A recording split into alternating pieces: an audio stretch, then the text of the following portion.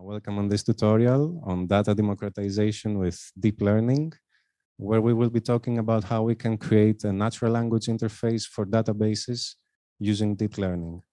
Uh, my name is George Katsogiannis. I'm joined today by my colleague Mike Xydas, and unfortunately Georgia could not make it to Singapore, so we will be covering uh, for her part. So I think we can agree that today we're living in the age of data where uh, a wide variety of human activities uh, uses data to make uh, choices and to gain information. And data is being continuously generated by a wide variety of sensors, systems, and algorithms. And a lot of users can benefit from this data. However, the problem is that not all users have equal access to data. And this is because uh, the sheer volume and complexity of data make it very difficult to query. And database query interfaces are notoriously user unfriendly because a user must uh, be familiar with SQL and how to write SQL queries in order to access this data. So in comes data democratization. Uh, the goal of data democratization is to empower everyone to access, use, and derive value from this data uh, no matter their technical expertise. So uh, its goal is to lift the technical barriers that prevent users from freely accessing this data and eliminate uh, the dependency of these users to IT experts. To achieve data democratization, uh, we must aim at designing tools that are aimed for the casual user and not for experienced users. And this is much more than just uh, creating a system. This is a cultural stance. So why uh, do this with uh, natural language? This is not a new idea. In fact, this was first proposed by a pioneer of the database um, community, Ted Codd, five decades ago. And he suggested that in order to uh, lift these barriers, we must enable users uh, to be able to access data using their native languages. So in our case, uh, a user can ask the database a question in natural language, and they can receive the answer in natural language as well. And how can this be done? Uh, this is the framework of today's tutorial. We will be talking about three different types of systems. First of all, we have text to SQL systems where the user can ask a question in natural language and their question can be translated to SQL then we have SQL to text systems that allow the user to understand the produced SQL query and to verify that the prediction of the text to SQL system was correct. And when they have verified this prediction, the query can be executed on the database. And then we have data to text systems that take the data output and they can verbalize it back to natural language so that the user gets a complete natural language experience. So the outline of today's tutorial uh, has three parts that cover these three systems and the fourth part where we will be discussing how we can bring this all together to create a natural language interface. So first of all is the text to SQL problem. Simply put, the text to SQL problem says that when we're given uh, relational database and the natural language question posed on that database, uh, we want to create an SQL query that has the same meaning as the natural language question and that this SQL query must be valid to be executed on this database and it should return the results that the user wanted. This is not a new problem. In fact, this has been studied uh, for many decades by the database community because it would open up access to databases using only natural language. And there have been many efforts uh, from the database community. However, this is a very difficult problem, and we will see now why. First of all, from the natural language side of the problem, uh, natural language is a very complex thing. It can be ambiguous, which means that a word might have different interpretation. It, it might refer to different things. For example, Paris might be a city or it might be a person. Uh, it can have references to the database that are not clear to resolve. For example, the word model might refer to a car model in the database or an engine model. It might infer things that are easy to understand for a person, but difficult to understand for a computer. For example, when we say, uh, who was the president before Obama? We're talking about the president of the United States, and this might be clear uh, for humans, but uh, it's not that clear for a computer. Uh, additionally, the user might use a different vocabulary than the, than the vocabulary that is used to create the database. So uh, a user might ask for the composer of the song, but the database might have this information stored as the songwriter of the song. And of course, since we're dealing with users, we should expect a lot of mistakes, such as spelling mistakes and syntactical and grammatical mistakes.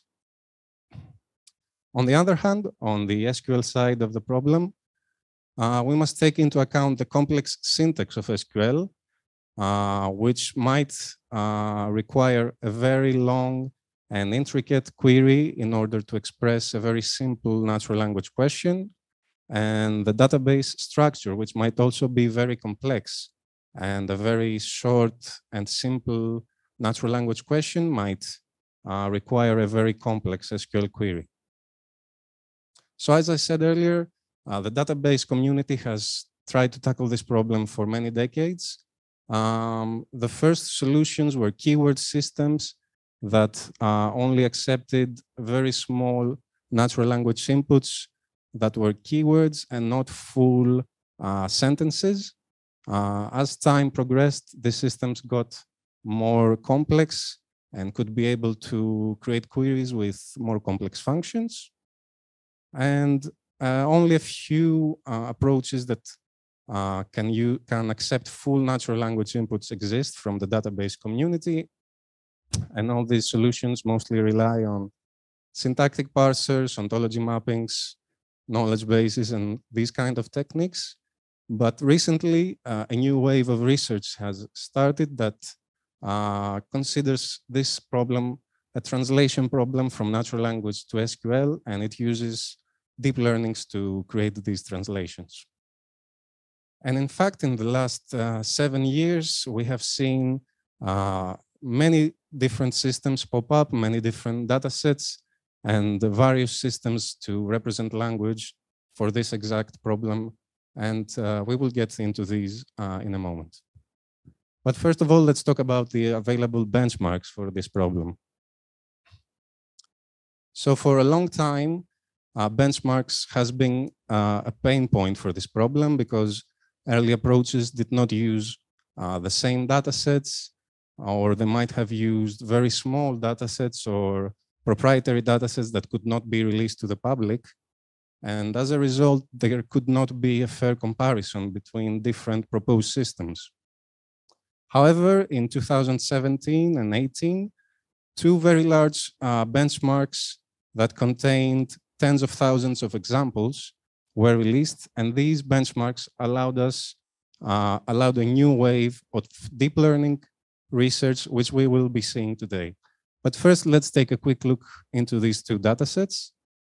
On one hand, we have the WikiSQL dataset, which is a large crowdsourced dataset uh, that was uh, crawled from Wikipedia. And the way it was created is that tables were extracted and the questions and SQL queries were crowdsourced.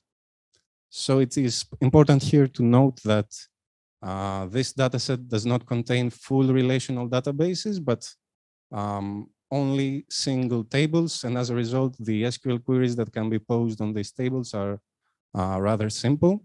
Additionally, because this dataset was crowdsourced, it was not created uh, exclusively by experts, so it contains many mistakes. And in fact, research has shown that human accuracy, even experts can only score about 88% on this dataset, which shows that it has uh, a lot of mistakes and ambiguities. In 2018, SPIDER was released, which is a large and complex dataset for this problem. It contains uh, full relational databases and 10,000 different questions from 138 different domains. It was created by uh, experts on the database field. And as a result, uh, it has uh, much better quality. It has much better uh, queries uh, more complex queries. And uh, at the moment, it is the go-to dataset to train and to evaluate a text-to-SQL system. So as I said, there have been many proposed systems in the past years. So in order to better understand uh, the anatomy of such a system, we will first take a look uh, at a taxonomy of a text-to-SQL system, where we will be seeing uh, each part uh, that a system and each uh, step that is required in the text-to-SQL process. So uh, we start with a natural language question and a database on which the question is posed. The first step is schema linking, which is the process of discovering possible mentions uh, of database elements in the natural language question. And this allows us to get a better understanding of the question and help the system create better uh, SQL queries. Then we have the natural language processing step in which we want to create uh, efficient representations of the natural language that can be accepted by the neural network. Then we have the input encoding step. Since we have uh, inputs of different types, uh, we must find a way to encode it efficiently. And when we create a representation inside the network, we must also then consider how we're going to create an SQL query from this representation. And this is the output decoding step where we design the way that the SQL query will be predicted. And of course, since we're dealing with neural networks, we must also consider that the way that this network will have to be trained. And finally, we're going to discuss about some uh, techniques, some output refinement techniques that can be added to the system after it was trained so it can produce uh, SQL queries of better quality. So we start with the database and the natural language question, and the first step is schema linking. Uh, in order to better understand what schema linking is, we can imagine the way that a human expert would create an SQL query from a natural language question. So one of the first things that they would do is try to understand how the mentions in the natural language question uh, relate to the database elements. So in this example, we can see that uh, the word head is referring uh, to the table named head as well. And this shows us that this uh, is a table link to the table head. And we can also see that the number 56 in this question is referring to a column uh, actually, it's referring to a value that is stored under a column named age under the table uh, head. So this is a value link. So in essence, we differentiate three different types of schema links, which are table links, column links, and value links. So uh, in schema linking, we have to consider three questions. Uh, which parts of the question we will consider? So these are our question candidates our query candidates, sorry. Which parts of the database we will consider. So these are the database candidates and how we're going to compare these two uh, parts and how we will decide if there is a match between them. So for query candidates, there are four ways uh, we can discover them. The first and simplest one is to uh, consider every single token of the NLQ so we, uh, this is the simplest way where we take each uh, word separately. And uh, this cannot find many uh, query candidates. In this example, we can only find this uh, candidate, which is a single word. A more advanced technique is to consider n-grams, so essentially phrases of multiple words. Uh, so this technique can find the rest of the query candidates in these examples. But there are also more advanced techniques, for example, named entity recognition, uh, which can help us identify uh, mostly uh, value links. In this example, it can find the query candidate New York. Um, however, what if uh, New York is stored in the database in a different way? For example, it could be stored as NY instead of New York. Uh, to tackle this problem, we must also generate additional candidates based on the ones we have found. Um, so in this case, we can look up for similar values inside the database. So if we search for New York inside the database, we might uh, discover uh, that it is stored as NY, or if we search New York on an external knowledge base, we might find uh, different ways that it can be expressed. So in this way, we have found uh, the correct query candidate. Uh, when we want to find database candidates, uh, there are three sources that we must look into, uh, table and column names, which is rather easy since uh, their number would usually be not that large. And the third source is uh, values inside the database. And in this case, uh, we need to take a more careful approach because the amount of data stored inside the database might be too large uh, to simply iterate through all of it. So one way is to consider uh, to find values by looking them up inside the database using uh, database structures such as inverted indices, which makes uh, searching the database faster. However, there's also a problem here. If we do not have access to the data stored inside the database, maybe due to privacy reasons, or maybe there's too much data and it's not efficient to simply search for it. Uh, here again, we can search for candidates uh, in external knowledge bases and knowledge graphs. So if we consider the previous example of New York, we could search New York in the knowledge graph named ConceptNet. And ConceptNet would inform us that New York is actually a state. And this would allow us to link New York to a column named born state under the table head. So now that we have both our query candidates and database candidates, uh, we must find a way to compare them and decide if there's a match between them. Uh, the simplest way to do this is to consider exact matches. So if the query candidate and the database candidate are identical, we have a match. Of course, uh, this is a very simple method and it will not find all schema links. Uh, we can also consider partial matches, which means that uh, some of the words between the two candidates match, but not all of them. Uh, we can also do fuzzy string matching, which means that uh, the candidates are written using uh, different uh, spelling or there's a spelling mistake, but all these methods will not be able to identify synonyms or when uh, the word is expressed differently uh, than the way it is stored in the database. To tackle this kind of problem, we must use more advanced matching methods. Uh, and these methods usually rely on natural language processing techniques using uh, learned embeddings or maybe uh, more advanced models and classifiers. So this was the schema linking process.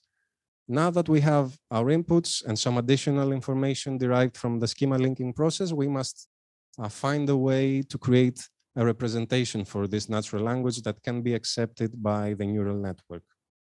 And the go-to technique to do this for a long time was using trained word embeddings and recurrent neural networks.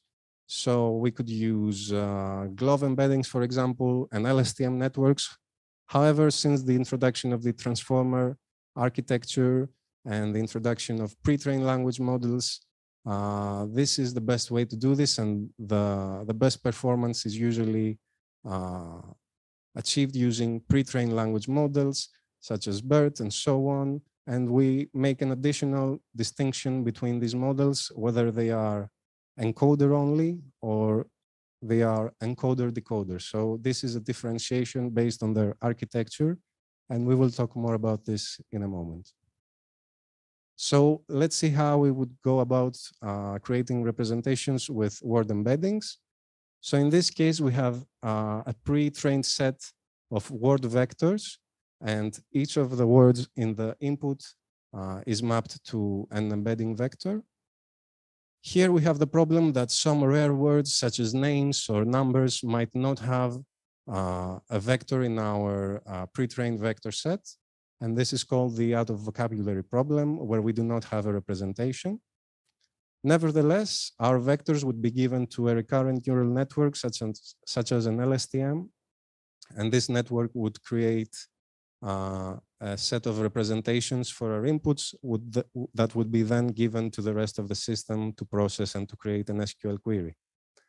Uh, two major drawbacks of RNNs are that first, uh, when sequences get longer, the cost of processing them rises very quickly. And additionally, recurrent neural networks have a hard time uh, making associations of words that appear very early in the sequence with words that appear very late in the sequence. So in this case, uh, it would be difficult to make the connection between the word nationality and the name of the player. If we wanted to use encoder-only pre-trained language models, uh, we could uh, essentially swap the RNN with a transformer-based PLM such as BERT. Uh, and we have a lot of advantages here. First of all, the, the embeddings that BERT uses, uh, word piece embeddings, can divide unknown words into known subwords. So in this case, uh, the name here would be divided into smaller tokens, which we have representations for. So this way we solve the out of vocabulary problem. And additionally, due to the vast amounts of data that the pre-trained language models ha has seen during its pre-training, would uh, boost the performance of our system by a lot. Additionally, um, transformers are very good at finding connections between words, even if they're uh, not that close to each other in the input. And the cost of uh, processing uh, larger inputs does not uh, rise as fast as with RNNs. So this was encoder-only PLMs. We also have encoder-decoder PLMs, such as T5. In this case, uh, the PLM is a complete sequence to sequence framework. So uh, we would give us our inputs as a sequence and it would uh, not just create representations, it will also create the input. Um, on one hand, this, these models are very powerful. On the other hand, uh, these models, uh, we cannot uh, play with their architecture since they're pre-trained with this architecture. It's no point in uh, changing their architecture. So we must work with them as they are. Additionally, we should mention that there are pre-trained language models that were designed specifically for this problem, such as Grappa, and they give better performance to text-to-SQL systems because they were pre-trained specifically for such tasks.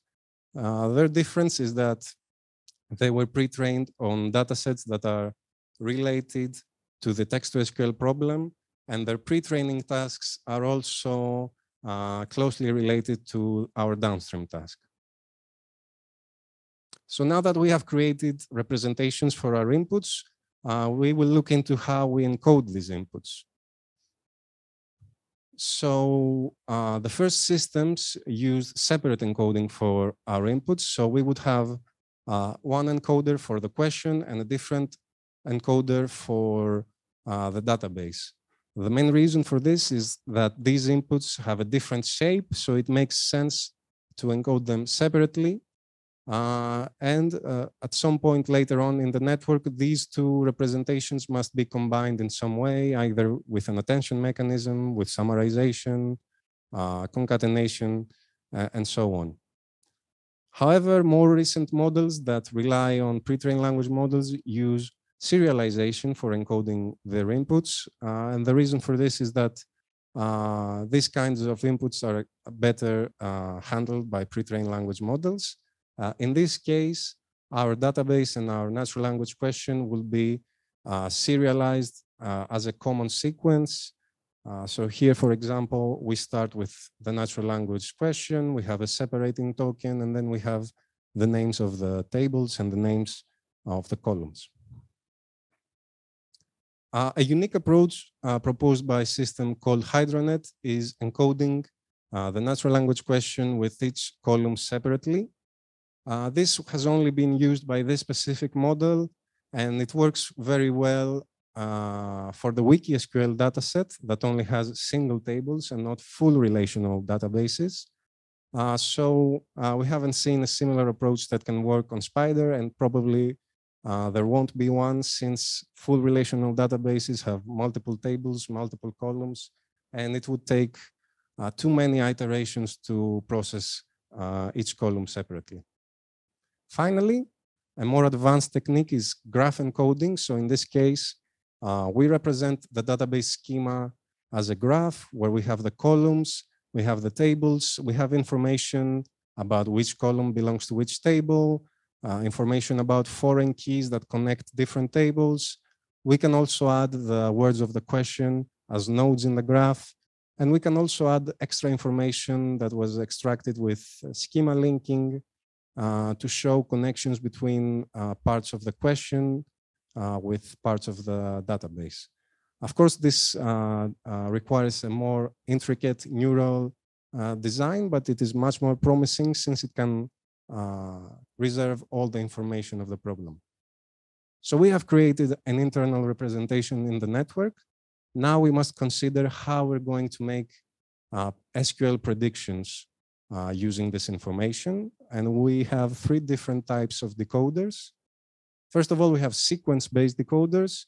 So these decoders generate the SQL query uh, token by token. Uh, this is a very simple and easy way to design a decoder uh, because we can use a, a, lot of already available architectures.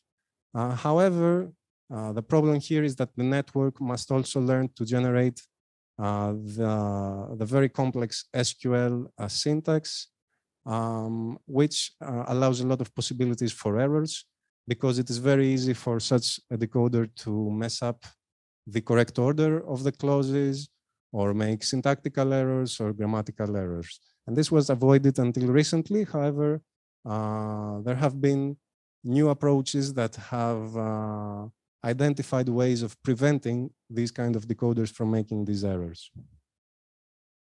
Another type of decoder is a sketch-based decoder.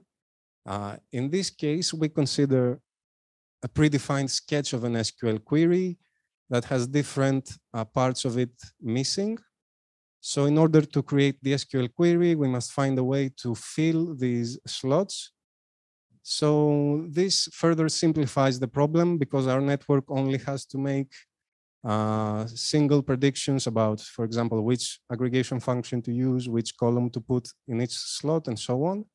Uh, but it is very hard to extend this kind of approach to more complex SQL queries or to SQL queries that work on full relational databases because it is difficult to design a sketch that would work like that.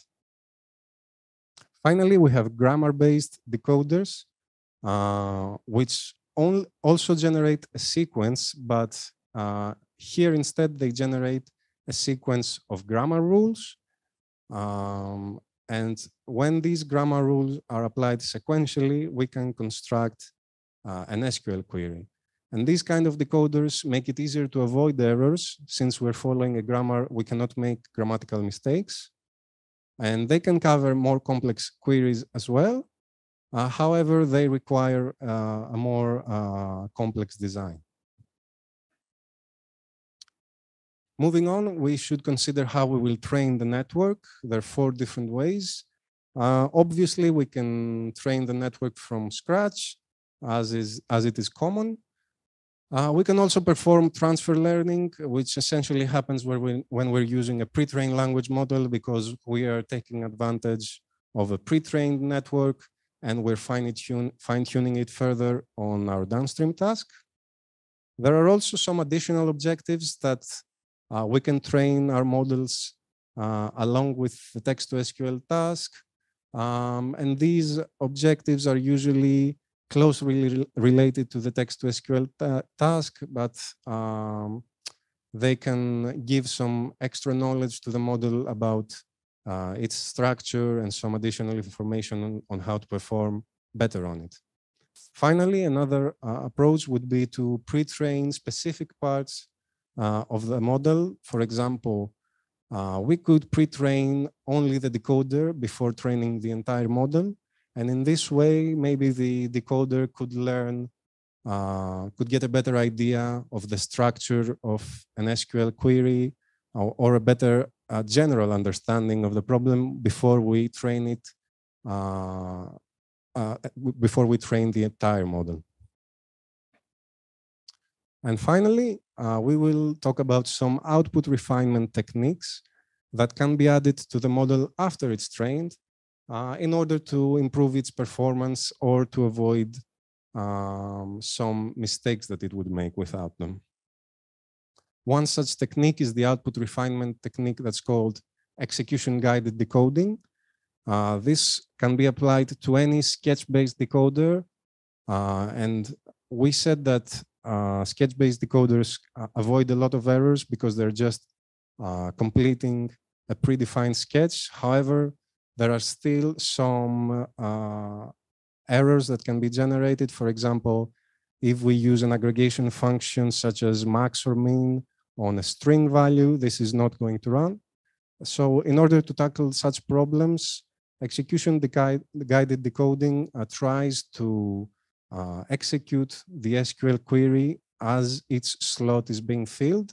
And if the system sees that a certain prediction leads to a query that cannot be executed or it uh, returns no results, it uh, considers that it should probably change this prediction because this is not going to lead to uh, a good prediction.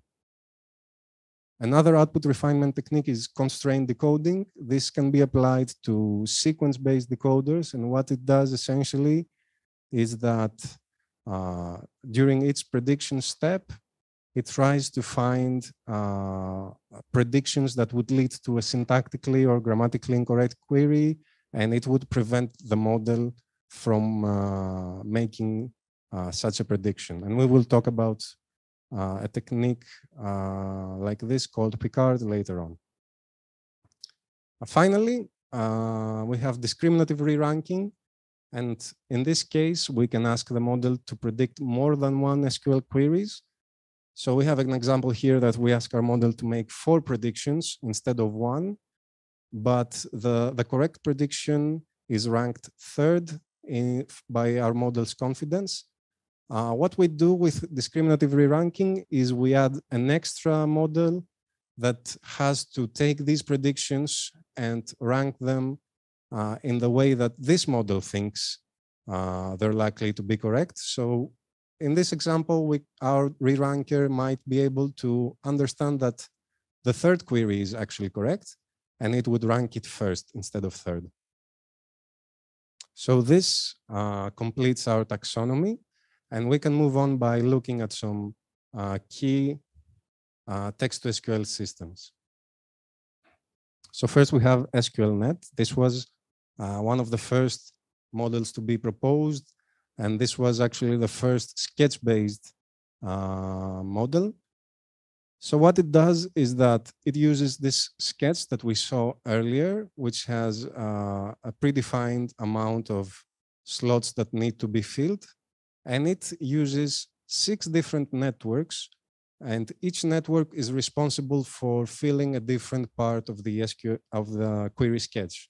So it has a, a, network that will predict the aggregation function. It has a network that will predict the column in the select clause and so on.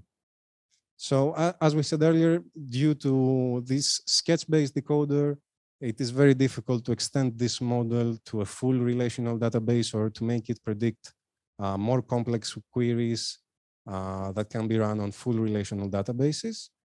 Uh, as far as it concerns its encoder, it uses separate encoding for the natural language question and the uh, column names of the table. Um, and then this representation that is uh, processed is given to each network separately and each network makes a different prediction that when we uh, combine them, make our SQL query. Moving on, we have RAT SQL.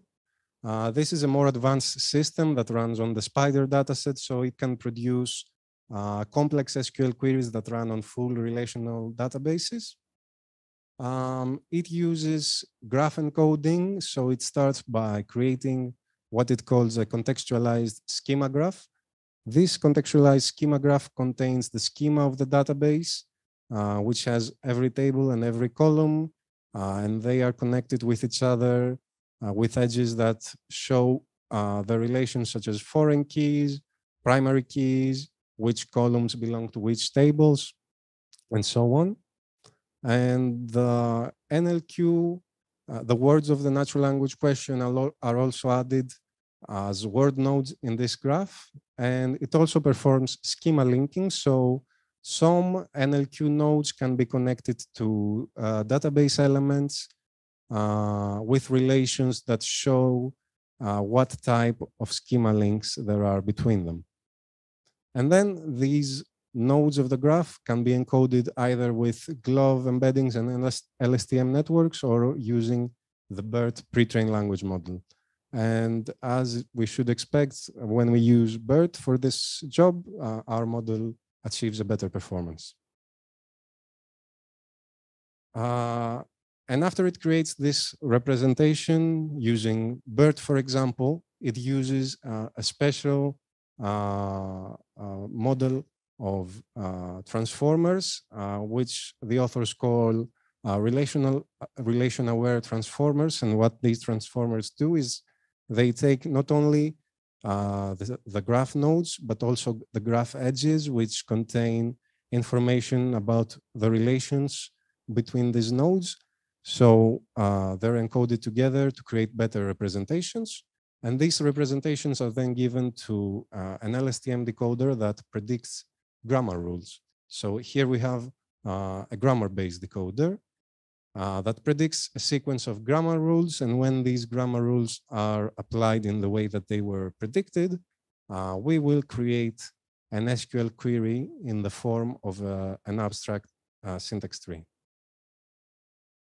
Finally, uh, we will see Picard. Picard is not a model by itself, but actually um, an output refinement technique that can be applied on sequence-based autoregressive decoders.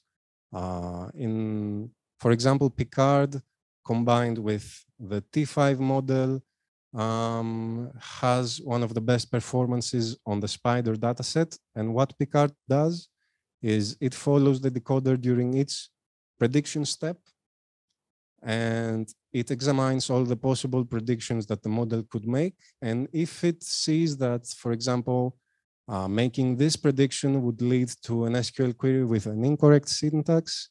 It prevents the model from making this prediction.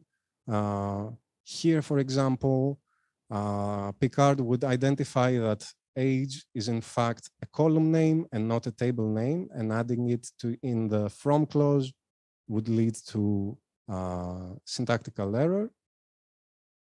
Or it can also detect that if the model tries to use um, a column name in the select clause from a table that is not mentioned in the from clause, this will also lead to a query that returns an error, so it would uh, uh, prevent the model from making this prediction. So uh, a lot of work has been done on this problem. However, there's a lot of work to be done uh, as well. And there are a lot of challenges and research opportunities. And we will mention two big uh, areas where uh, improvements can be made, uh, at least for the text to SQL problem. So first of all, uh, as I said earlier, Spider has long been uh, the go-to benchmark for training and for evaluating text to SQL systems and authors uh, don't usually perform any additional experiments on other benchmarks. However, uh, Spider is not perfect.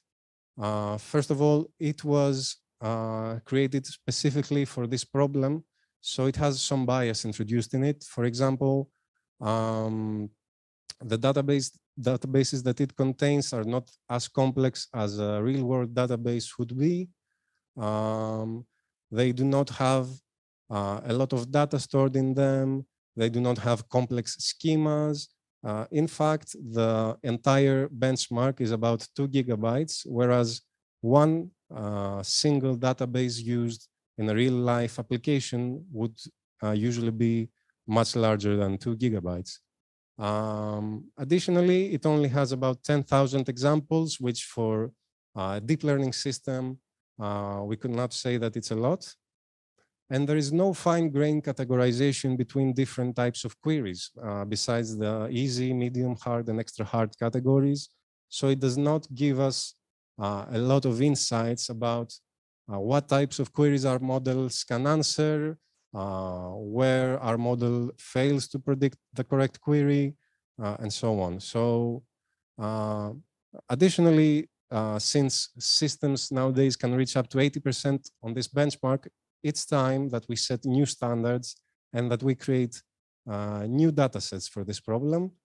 Um, and we should aim to use real world databases taken from real life scenarios. We should uh, try to ask actual users of this database to provide us uh, with uh, NL queries and SQL queries so that we can test our systems on what uh, an actual user would ask. Additionally, we should aim to have better categorization uh, for example, with synonyms, misspellings, missing info, and all these challenges we talked about earlier, so we can uh, better understand what our systems can do and what our systems cannot uh, yet do. Additionally, uh, we should look into the technical feasibility of text-to-SQL systems. Uh, we talked about a lot of techniques and a lot uh, of interesting research proposals. Um, however, these the authors of these systems do not usually look into if these systems can be applied in a real life application. For example, uh, large pre-trained language models might improve performance a lot. However, they also need an expensive infrastructure and they take a lot of time uh, to make predictions. So uh, maybe, uh, probably, these are not ideal for a real world application. So there's a lot of room for technical contribution and making these uh, uh, these systems uh, work in real life. There's a lot of room for optimizing all these techniques we talked about. And there's a lot of work for creating benchmarks that test the technical feasibility of these systems. Uh, so we should not only look into their accuracy or how many uh, SQL queries they predict correct, but we should also look into how big are these models are, uh, what type of computing requirements they have, and how much time they take uh, to make a prediction, because these are all uh, very important factors to consider when creating an application that uses a text-to-SQL system. So this concludes uh, the first part with about text-to-SQL uh, systems. We will now look into the reverse problem of SQL to text. So as I said earlier, the SQL to text problem is essential for explaining a predicted SQL query to the user so that the user can verify uh, if this prediction is what they actually wanted. Um, however, besides their use in natural language interfaces, SQL to text systems can also be very useful for uh, automatically generating comments about SQL code written by uh, technical experts and uh, they might write some code that they would upload in an online repository and it would be very helpful to generate uh, to quickly generate descriptions about their code uh, it's also useful for helping even technical users understand very large uh, SQL queries and it is also very useful for data augmentation for the text to SQL problem where we could for example uh, generate many SQL queries using a predefined grammar and synthetically generate their natural language equivalents using an SQL to text uh, system. So let's look at these at the at the challenges of the SQL to text problem, uh, starting again from the natural language side.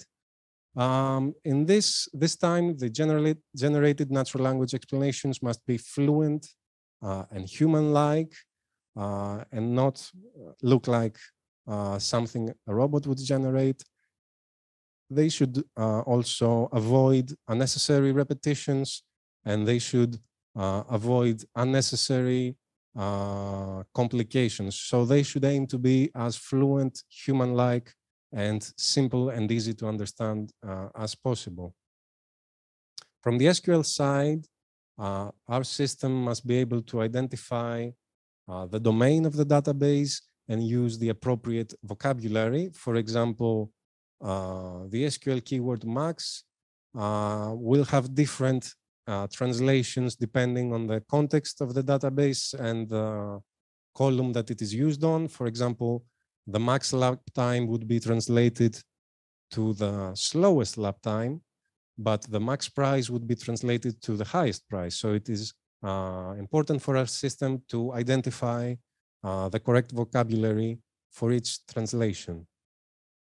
Additionally, it should be able to capture uh, the semantics and the deeper meaning of SQL queries, uh, which sometimes might be very long and complex, and sometimes they might be short and simple, but they could have the same meaning uh, nonetheless if they are expressed on databases with different schemas.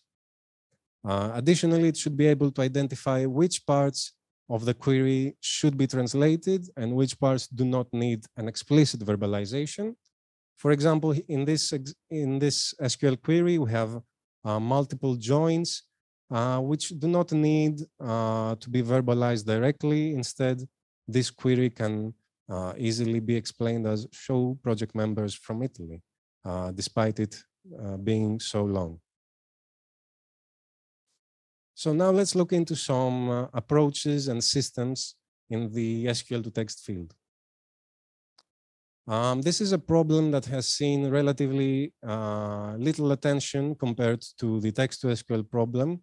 Um, here again, we have some earlier approaches that do not use uh, deep learning, and we call them template-based approaches. We will see an example later on, but we will mostly focus on neural-based approaches that can also be uh, separated in two categories based on the architecture of these systems, whether they are uh, they have a sequence-to-sequence architecture or a graph-to-sequence architecture. Um, and as I said, there are not many approaches. Even uh, for deep learning systems, we only have a handful of approaches. Um, but more systems are starting to appear lately, uh, and are mostly motivated by data augmentation efforts for the text to SQL problem. So let's have a quick look on template-based approaches first, and then we will uh, move on to neural-based approaches. So for uh, template-based approaches, usually the query is transformed into a query graph, and we have a predefined set of templates for the given database and each node in the query graph uh, can be uh, replaced by a predefined template. And the query explanation is then created by traversing the query graph and using the appropriate templates to create a verbalization for each node in the graph. Uh, these kind of approaches can be very precise because uh, they will create a verbalization for every part of the query uh, however, if we want to move our system to a new database, we will have to create uh, a new set of templates for the new database, which requires uh, manual effort from an expert.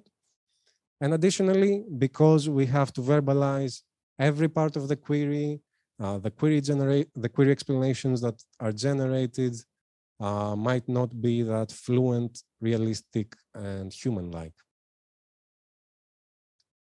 Now let's see an example of a template template-based uh, SQL to text system. Here we have this input query, and the first thing that the system does is to represent this uh, query using a query graph, uh, where we see each part of the query. Here we have the select clause, uh, the from and join clauses with their respective tables, and here we have the conditions from the where clause. So what the system would do here is it would start from the part of the graph that represents the select clause, and it would create a, a verbalization for this part of the graph. Then it would move to the part of the graph that contains the tables, and it would generate a natural language explanation for this part. And finally, it would move on to the last parts of the graph that contain the conditions and generate uh, a part for, for uh, this, uh, an explanation for this part of the graph, and then it would join these three explanations together to create the final uh, explanation of the SQL query. And as we see, it has correctly described the entire query. However, it could have been much uh, more human-like, much more fluent, and it could, could have uh, avoided some unnecessary verbalizations. So now let's move in. Let's move on to neural-based approaches. So neural-based approaches uh, can produce much more fluent and human-like explanations. Uh, they are easier to generalize to new and unseen databases, even without having to generate uh, new templates or we have without having to train them uh, specifically on this new database.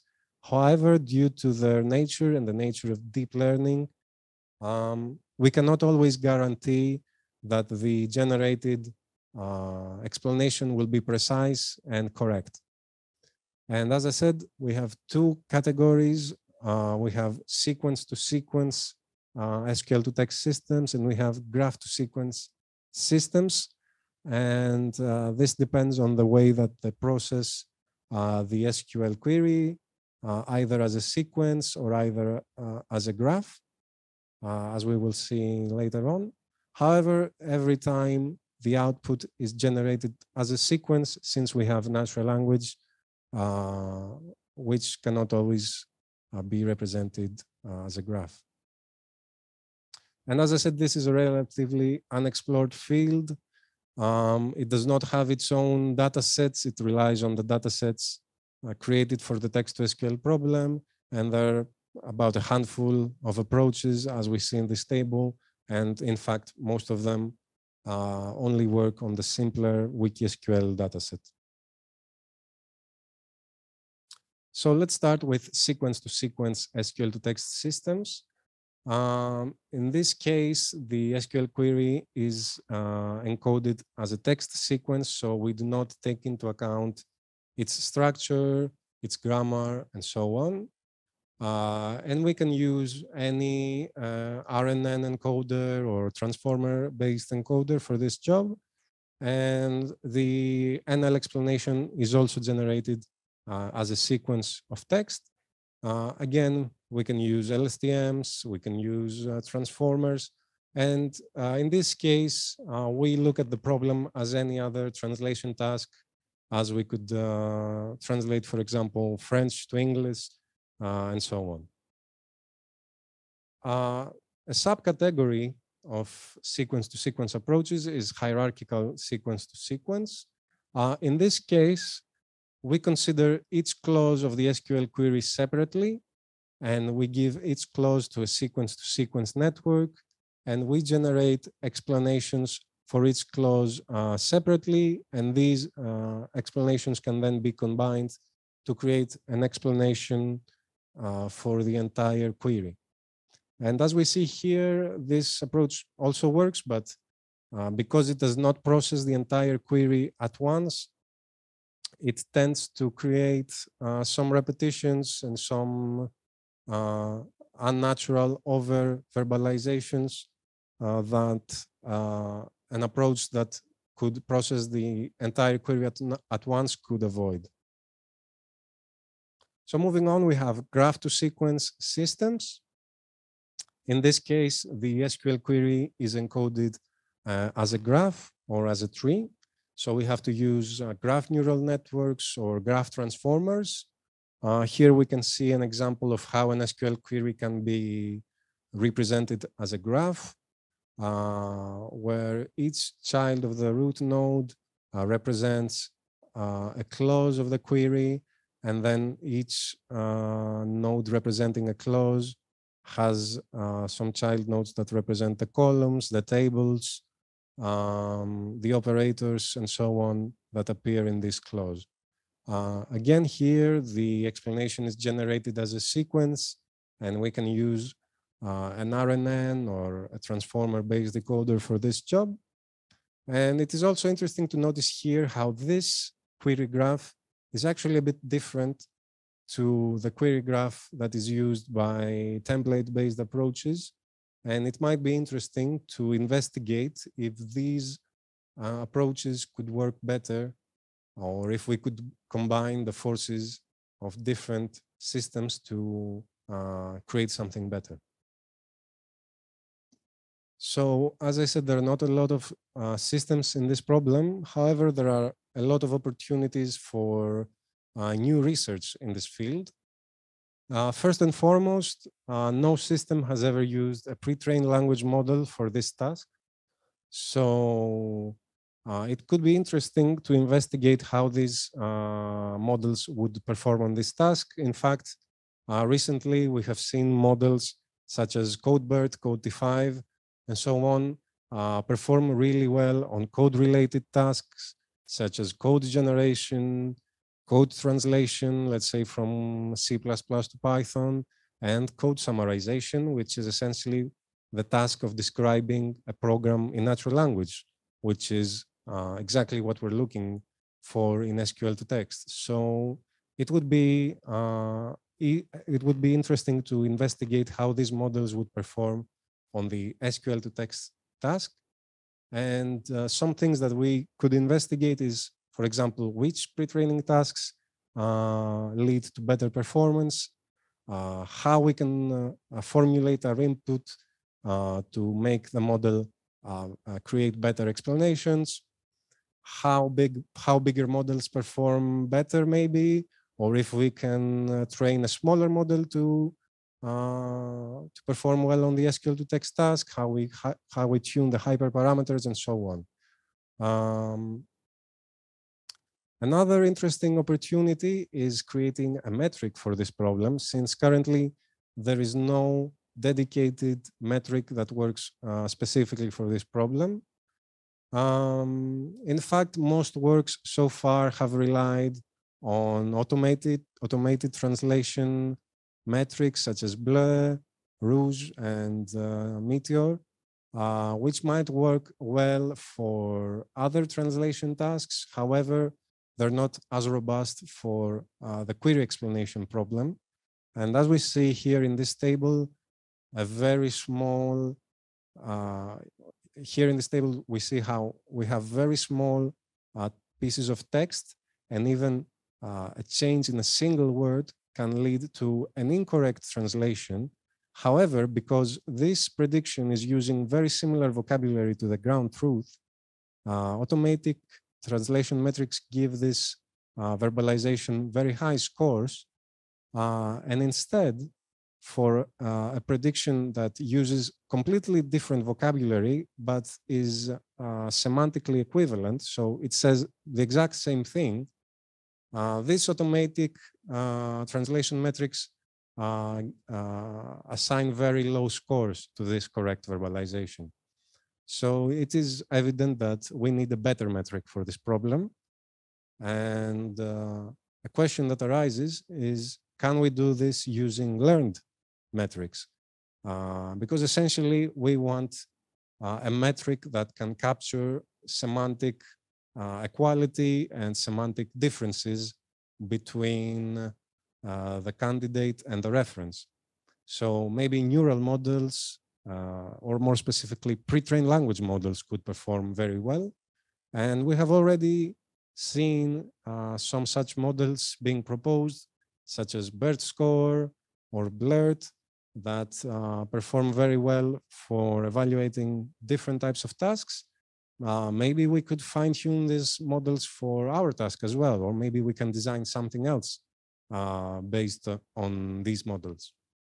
Additionally, uh, all these metrics I talked about earlier do not take the SQL into account, which is a very important part of the problem. So maybe uh, it would be interesting to design a metric that also looks into the SQL query along with the candidates and the uh, reference to find a better score for this uh, prediction. Finally, uh, even though we have uh, a lot of systems, or we have some systems at least for this uh, problem. Uh, we have not looked into uh, exactly what is a query explanation. So a previous work has identified that uh, an explanation can be expressed with different uh, styles. It can be expressed as a statement, as a question, or as a command. Uh, for example, uh, we could ask uh, which employees uh, earn a monthly sal salary higher than 10,000 as a question, or we could ask it as a command. For example, show me all the employees with a monthly salary higher than 10,000. However, there are additional aspects uh, that we should consider when we describe a query explanation. For example, uh, the level of detail. How detailed should a query explanation be? Uh, in this example, we see a query that uh, retrieves the name, the location, and the district uh, of uh, some shops in our database ordered by the number of products uh, in each shop. Uh, maybe we can have a user that doesn't care exactly what type of information is retrieved about each shop, and they care more about their ordering. So uh, uh, a query explanation such as show me all shops ordered by their number of products is uh, sufficient for them. Or maybe we have a user that wants to find out exactly what the query does. So they would want an explanation uh, like the second one, second one that uh, tells us exactly uh, all the attributes that are retrieved. So we should ask ourselves which factors uh, determine the, the level of detail that we want in our query explanations. Uh, maybe it's a preference of the user. Maybe it depends on the domain and the use case. So for example, uh, a database on medical research uh, might require very detailed explanations of its queries. Uh, or maybe there are other aspects that uh, we should think about. And here we see some more examples. Uh, it is interesting to consider how the asterisk operator should be verbalized. So essentially the asterisk operator retrieves all the columns that are stored uh, inside the tables in the from clause. Uh, but how should this operator be verbalized? Uh, for example, we could just use the name of the table, show me projects. Uh, maybe we should say, show me information or show me everything. Uh, again, since we're dealing with users that do not know exactly how the asterisk operator works, uh, we should uh, look into how we should be, it's best to verbalize this operator. Finally, as I said, there currently are no data sets uh, designed specifically for this problem, and all proposed systems are using uh, pre-existing text-to-SQL benchmarks in reverse order. Um, and this is also highly related to the lack of uh, a dedicated metric for this problem. So it would be very beneficial for research and especially uh, deep learning research to create a benchmark that uh, would allow systems to be fairly uh, compared to one another. And uh, they should also have a dedicated metric so that we can fairly compare their predictions. And such a benchmark should have maybe multiple explanations of SQL queries since there can be uh, different ways to express them with different styles, with different levels of detail and so on. Uh, and it should also have uh, some interesting categories between different examples so that we can uh, better evaluate our systems and so that we can tell in which examples in which categories of examples our system works better and where our system is lacking and we should uh, focus uh, more.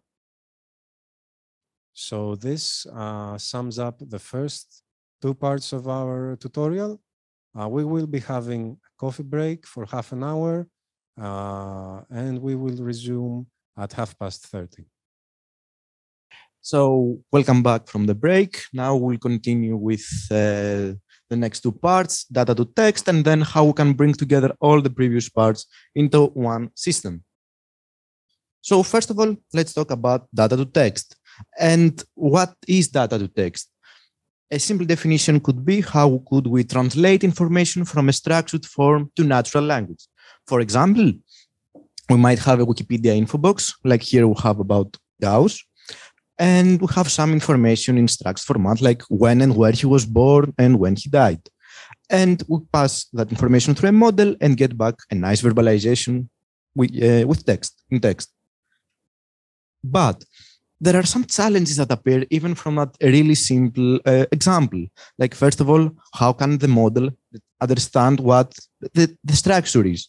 Like, we humans can immediately understand what born refers to, what died refers to, stuff like that. Also, some parts maybe could be om omitted. Like, for example, we feel like there is some redundancy uh, between the redundancy on the born uh, location, and we, we avoided some of the parts. How will we teach the model to avoid these parts too? And also, the generated text must be fluent. And uh, but in, while it must be fluent, it must also remain faithful to the source, faithful to the truth. Okay, so first of all, why data to text? Why do we need data to text? One reason, maybe automatic creation of reports or articles. Like, for example, uh, we might have uh, statistics about a game, a basketball game, like an NBA basketball game. We pass that through a model and get back a nice ver- uh, a verbalization that can be describing the outcome of the game, some important things that happened during the game. Or we might have data that are hard to understand. Like, for example, here there is a weather map and it has many symbols and many lines that it's not easy to understand. Personally, I cannot understand. But maybe if we pass that information through a model, the model could manage to explain them in natural text and understand that tomorrow expect strong southwest winds on the coast of South Korea, which is, might be useful. Okay, but we are talking about database democratization. So why is uh, data to text important on that specific field? And specifically for a natural language interface. Let's see. We first, let's say on a natural language interface, we had text to SQL shown before, where we ask a query and it is translated to an SQL query. We then get back that SQL query and return it to into text so as the user can confirm can confirm that the interpretation of the query was correct and the user says yeah that is the correct interpretation. And then normally you could get back a table like this. But we consider that uh, having a data to text model pass getting that information of the query result for example could be much more user friendly more nice to read to understand, and also it is more chat-based uh, appropriate. Another reason would be uh, to use data to text would be to explain parts or the whole schema uh, of a database. Like for example, here we pass into a database that is about cars and stuff like that, and it would be really nice if we could get back an explanation of the content of the database. And this can be really useful, especially for people that uh, are trying to find a specific database for their use case. A biologist, for example, who might uh, search for an animal, a database of animal species, or a doctor who searches a database of drugs and their side effects, and could really accelerate the process of finding the database that they search for. Okay, before continue, we'll make a separation between the data to text, uh, between two data to text fields table to text, where we give as input a table and get back a verbalization. Graph to text, where we give as input a graph and get back a verbalization. Okay. So let's talk about the table to text problem. Again, a really simple definition. Given a table, generate text, natural language, that expresses the information included in the whole table or maybe parts of the table. I'm guessing pretty self-explanatory have an example here where we pass the table into the table, into the model and get back a nice verbalization. And there have been there has been a lot of work and a lot of data sets in that uh, around the table to text. And they are pretty recent ones, if except the first one, which is from 2009. The rest of the data sets are pretty recent after 2016. The first ones were kind of domain specific, like for example about Wikipedia biographies, restaurants, basketball games, stuff like that. After 2020, we see an appearance of more broader domain uh, datasets.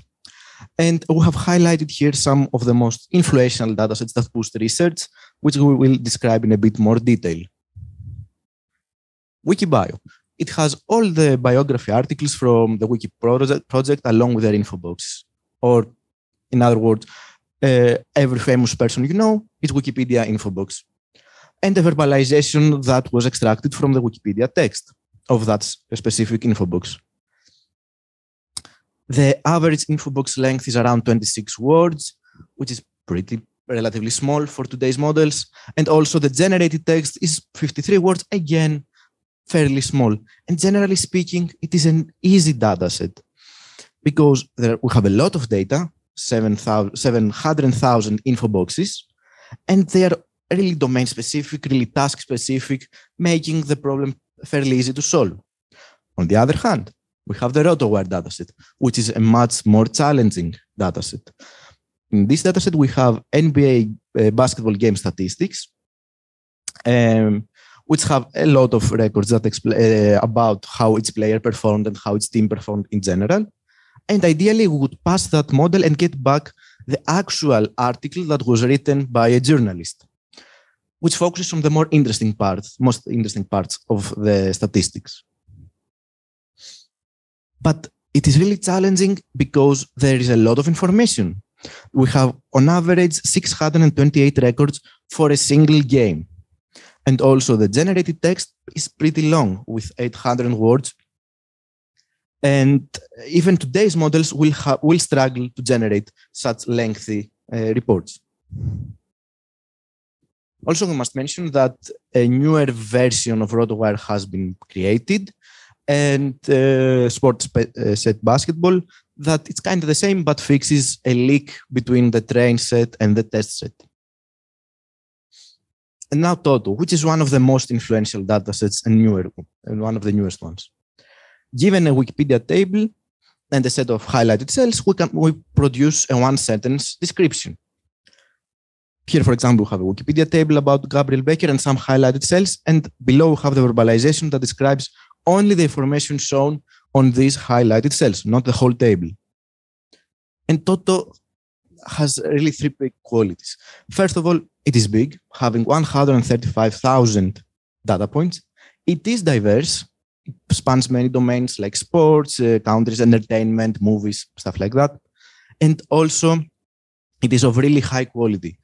And the question appears how do you manage to create a big, diverse, and of high quality data set?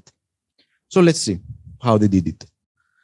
They first crawled a table from Wikipedia. Pretty simple, pretty simple to do, and you don't and can be done automatically.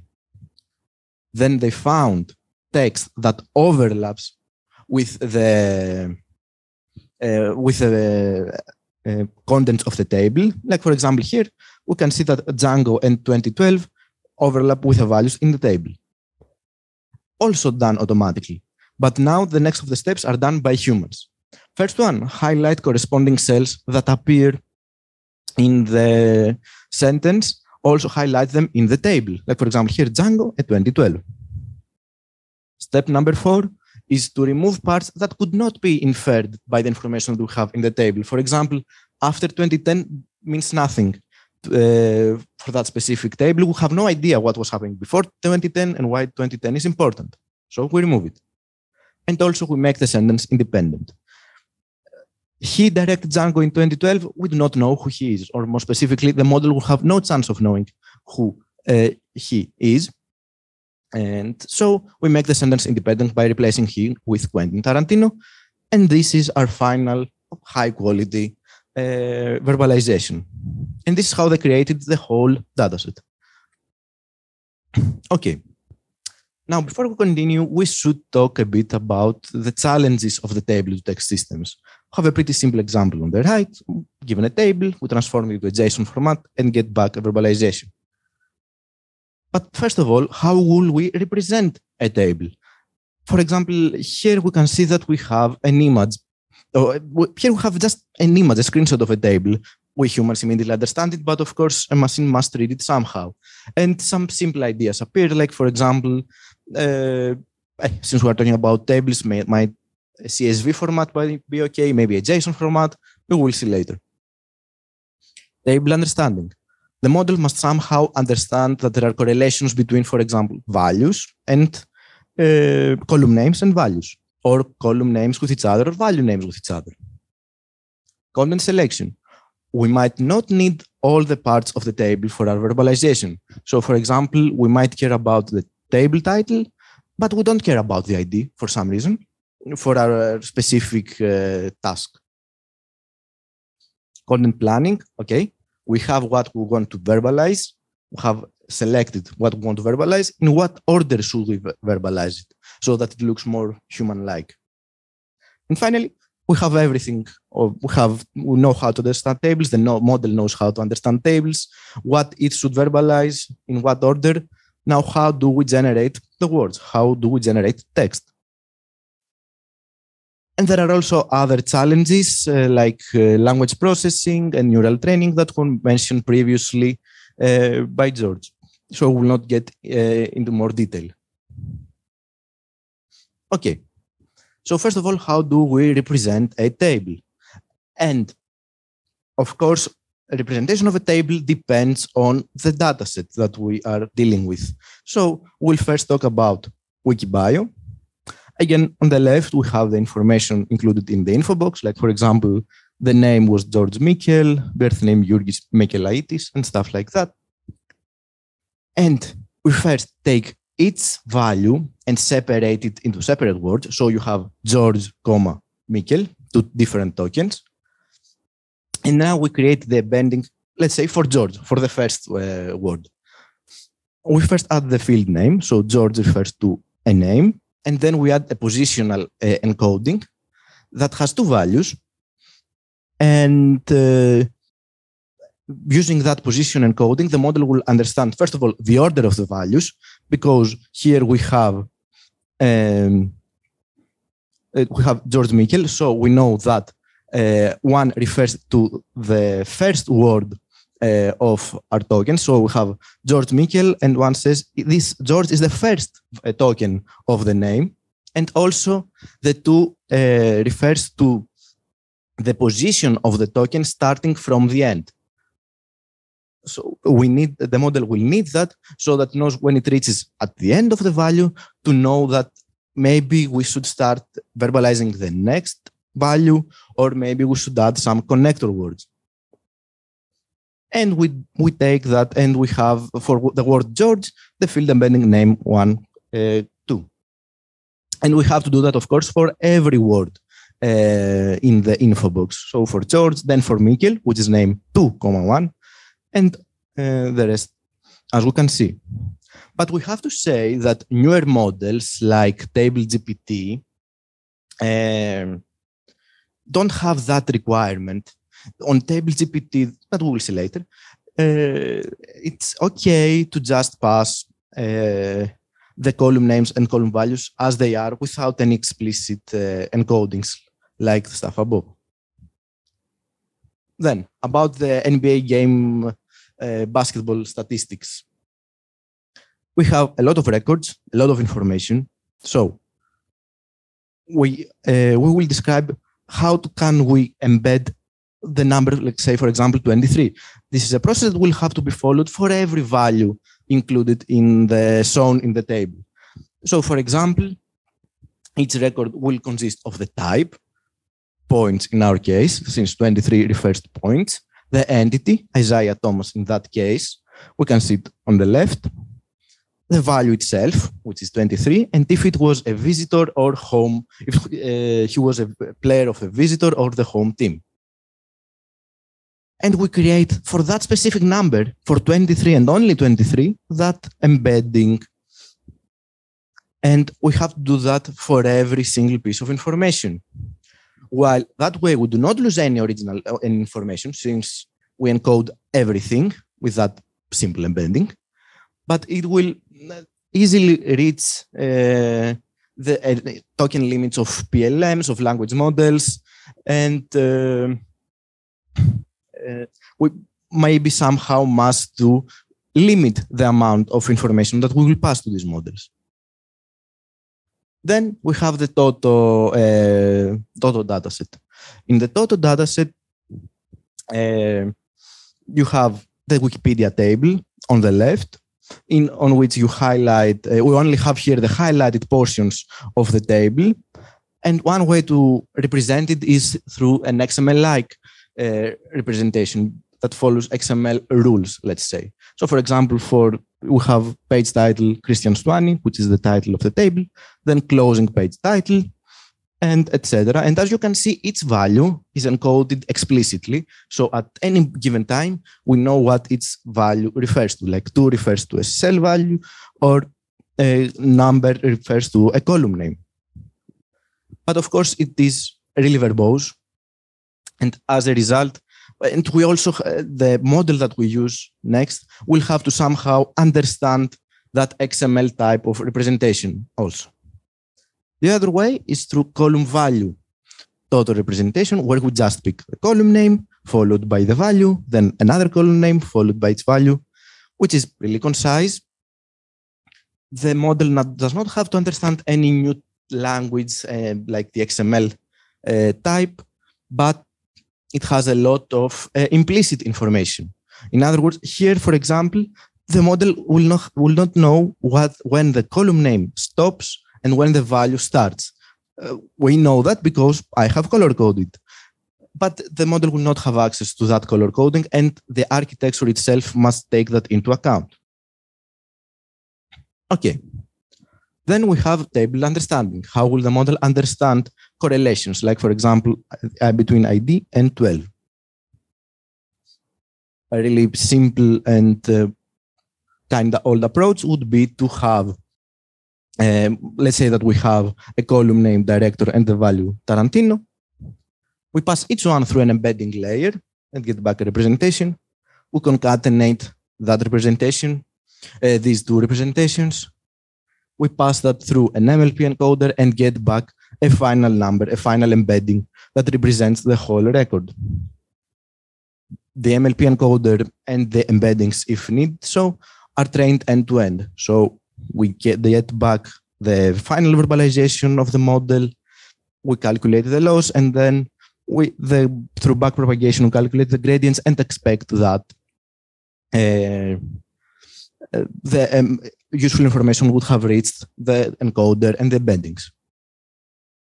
It's a simple approach, meaning that it's kind of easy to understand and implement, but and it is flexible. If something changes in an input structure, have column value. If something other is added for our specific use case, then we just have to change that part of the architecture and the rest of the architecture will not, will not have to know anything uh, that a change has happened. But of course, it is gradient vanishing prone. What do we mean by that? As I mentioned earlier, the gradients uh, are passed through the whole model, and this is the first component of the model. And it's really probable that not useful information uh, not a lot of useful information will reach this uh, the MLP encoder and the bendings. And also it is column value only. We uh, encode the information and the correlation between a column and this value, and we do not care about the other column values that might be included that appear in the table. Okay, another way of uh, doing table uh, understanding is through an auxiliary task named table reconstruction. Let's see the example. We have a, we have a table named James Beattie, full name James Scott for some reason. And uh, we tokenize it and we pass it through a model. Like, for example, you have name, then James, then Beattie, etc. And we pass it through a model. Then we get the embeddings of the encoder or maybe the values of the last layer if we don't have an encoder, it's decoder only architecture. And we pass these embeddings that correspond to each input value through another network, a predictor network that has to predict, first of all, if the embedding belongs to a column name. And if it doesn't be- if it doesn't belong to the column name, then from which column it came from. So for example, James came from the word name, and this is what the predictor network on the top must predict. And we calculate the loss of that. Uh, we calculate the loss, and we add it to our normal loss of the language model. And it has some uh, advantages. Again, we encode column value relations because we ask that the embedding of James, for example, to include information that it came from name. But it also has some position encoding. Uh, it forces the model to understand uh, meaning behind the position. Why? And we can see that on the example, actually, because the first James must be, predicted from the network that it belongs to the column name, while the second James must be predicted that belongs to the column full name. And also it is PLM compatible. Actually, it doesn't care about the model below. We can consider the model as a black box. And uh, that way, this auxiliary task is compatible with any architecture. Okay. Another thing is how can we understand numbers and their meaning, especially for some data sets like the NBA basketball game statistics data sets, RotoWire.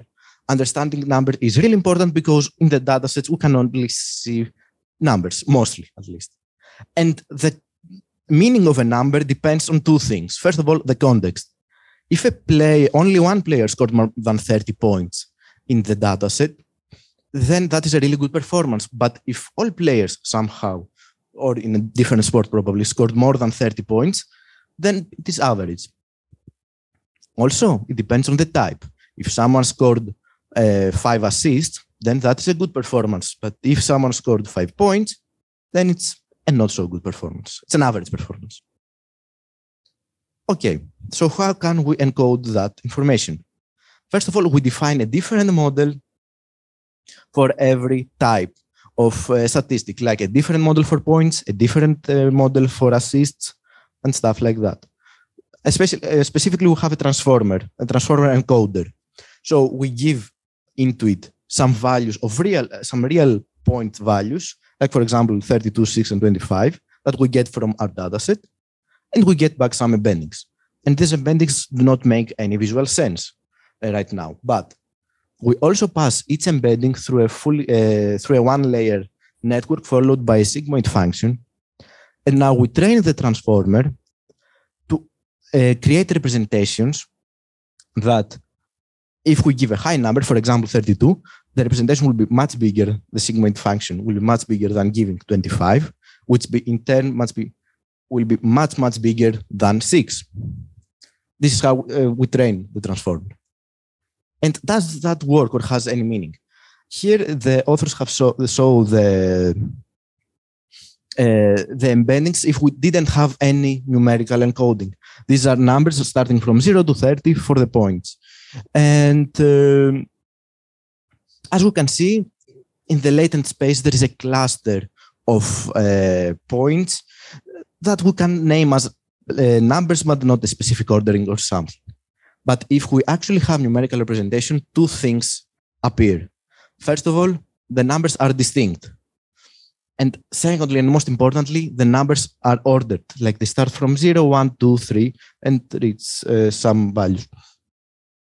And that is really important. Then it shows that in the latent space, now our model has understood the differences between big numbers and low numbers. And they're actually meaning depending on the type. Okay. Now, column selection. Which part of the table we should actually verbalize and which should we ignore? Uh, solution number one, would, one uh, early solution was through dual attention.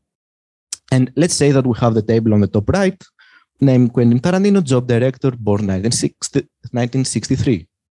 We have two encoders. One encodes the uh, the content of the table, Quentin Tarantino, director 1963, and we get back a representation of it uh, for each one of the values. The other one uh, encodes uh, column names like name, name, job, born. And we also have a decoder. And the decoder, so which generates the text. And at our specific time step, we have generated the phrase Quentin Tarantino is a, and we want to predict the next word. Okay. So uh, we calculate, first of all, the word level attention. The word level attention says in which token should we focus more? Of course, it makes sense that we focus more on the token director. We also calculate though, the field level attention, which again says, yeah, you should focus on the word job. We sum them up and we get that yes, you should focus on the column on the column value per uh, job director. But one question is, why do we need both attentions? Why do we only, for example, keep the value, the content uh, attention, the word level attention. And we will see that through an example. Let's say that we have the table name Mike Xydas, birthplace Greece, nationality Greece. For some reason, it was written like that. And uh, so far, we have generated the word Mike, while being generated, the attention, the word level attention, focused more on the word Mike. Then on Xydas, then it focused on the value Xydas. Okay, that is pretty easy to understand. On is, uh, let's say it focused on Xydas more, as I can see. But on Greek, it focused on the first Greece. Note that the model does not have access to the columns, to the column names above name, birthplace, nationality. So it just says Greece and Greece. It doesn't know how to differentiate between them. But by having field level attention for the last word Greek, the model will of course focus on will attend more on nationality, not on birthplace. And when we sum them up together, the final uh, picked column value pair would be nationality Greece and not birthplace Greece, increasing the chances of having as verbalization Mike Xydas is Greek and not Mike Xydas is Greece. Okay, another way through an auxiliary task is through target prediction. We have a table and we have the target that was written by a human when Tarantino is a director. We extract which records appeared in the verbalization and as a consequence, which did not. For example, here, for some reason, we didn't want AIDS to appear. And then we have tra the transformer architecture with, that has a transformer encoder and a transformer decoder the encoder will get into the column value uh, information, will create some representation, some embeddings. Then these embeddings will be given to the decoder along with uh, cross attention. And we get back that verbalization. That is the simple, uh, the transformer, what transformer does. We have not added anything new yet. What we add is an extra prediction layer that will predict if a uh, representation of a value should be included. For example, ideally, in our case, it should be predicted that the first and second tokens, name and job, should be outputted, while the third one, age 59, shouldn't. And we train the, the encoder alternating with the decoder law. So for some steps, we train uh, for that uh, prediction task, for target prediction, and the other steps we train for the normal uh, text uh, generation task. Okay. The next challenge is content planning. In what order should we uh, verbalize the selected content? And again, we have an auxiliary task, the record ordering reward, where we optimize the model based on the record of the produced, uh, the record order of the produced plan. What do we mean by that? Let's say that the human written verbalization is James Cameron direct Avatar star Kate Winslet. If we extract the entities, we get that first James Cameron appeared, then Avatar, then Kate Winslet. But let's say that our table to text model created a verbalization that had um, James Cameron first, then Kate Winslet, then Avatar. Okay, we can see that wasn't perfect. So we calculate the normalized Damerau-Levenshtein distance By normalized means that it goes from zero to one, with one being no uh, changes have to be made. And uh, we get back a number.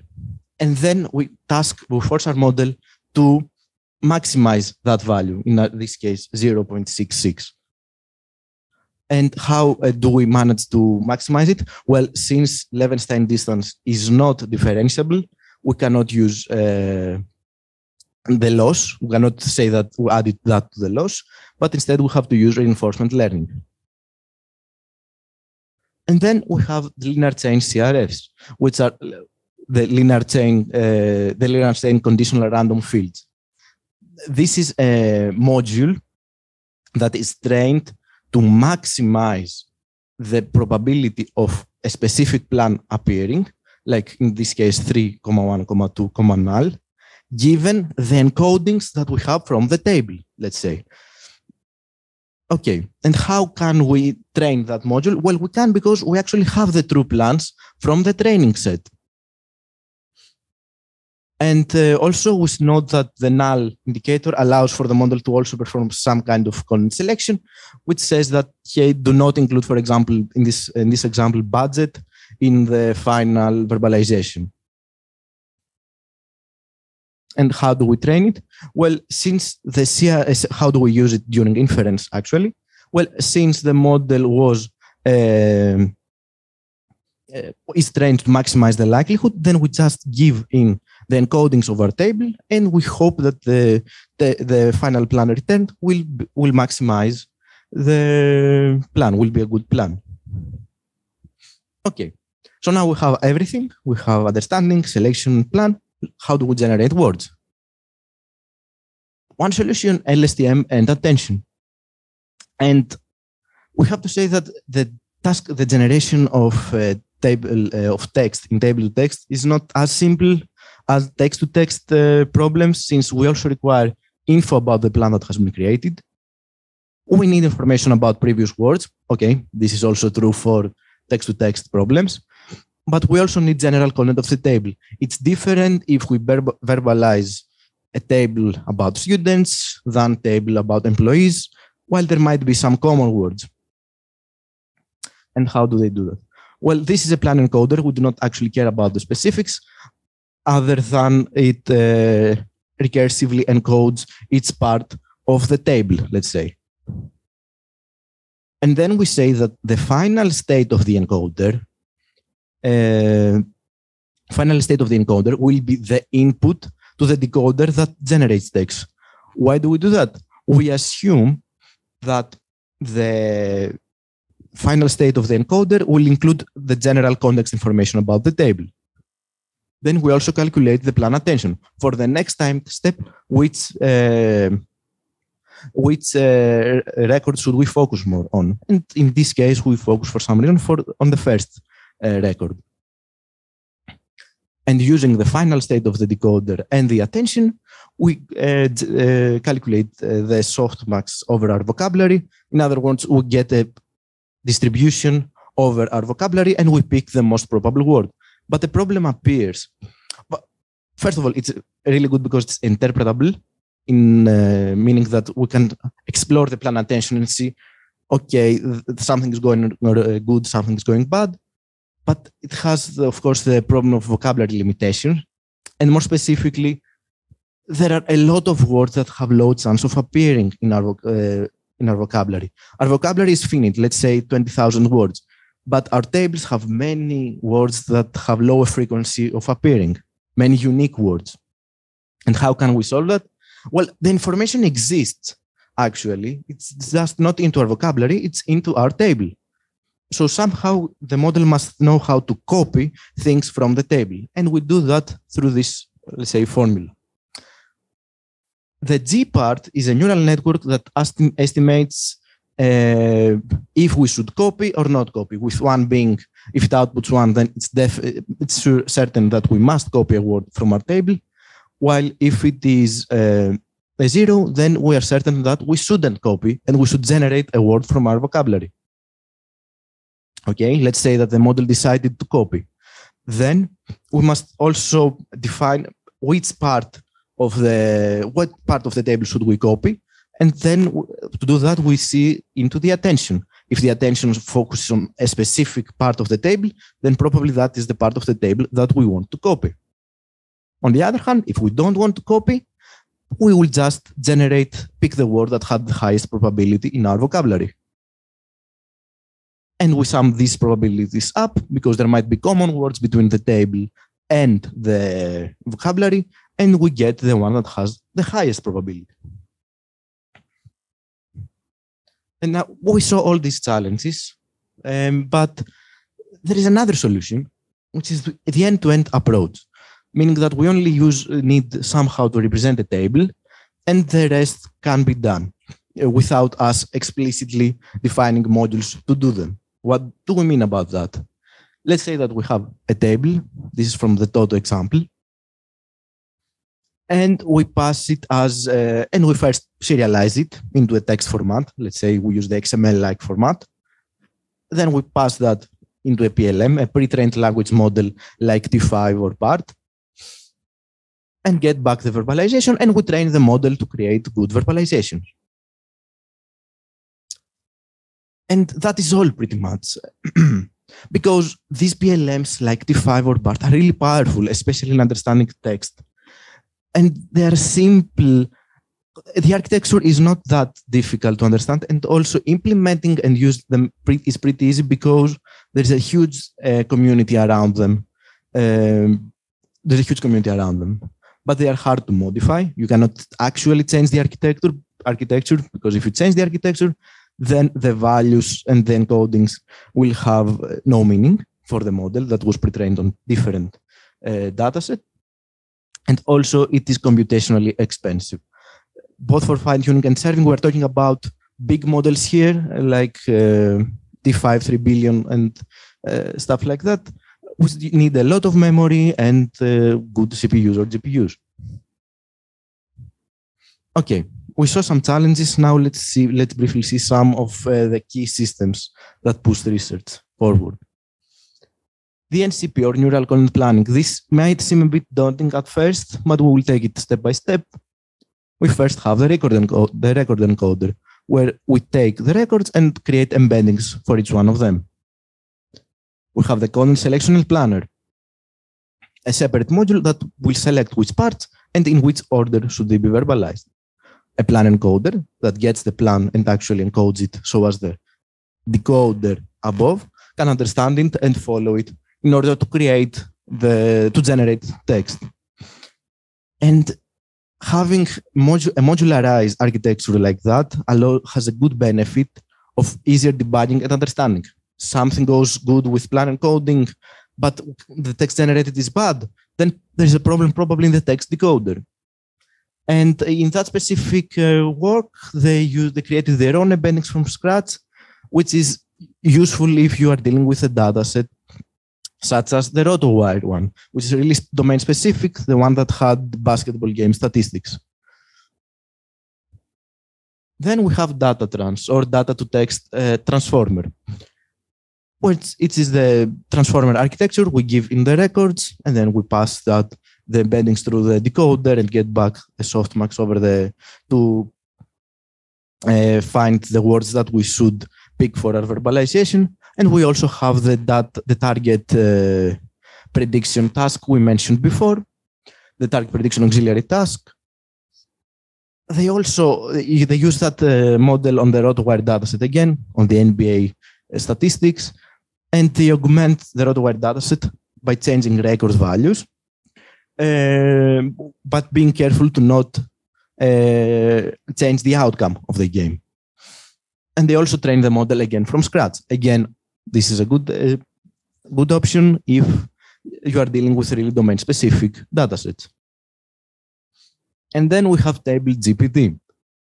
And to understand that model, we will see uh, what they do through the loss, through their loss function. And their loss function consists of three different parts. First of all, the language model loss. This is the expected loss that uh, any fine-tuning task using, for example, uh, using GPT would use. Like, for example, we pass in name James Beatty and we train the model to return something like the name is James Beatty. Nice.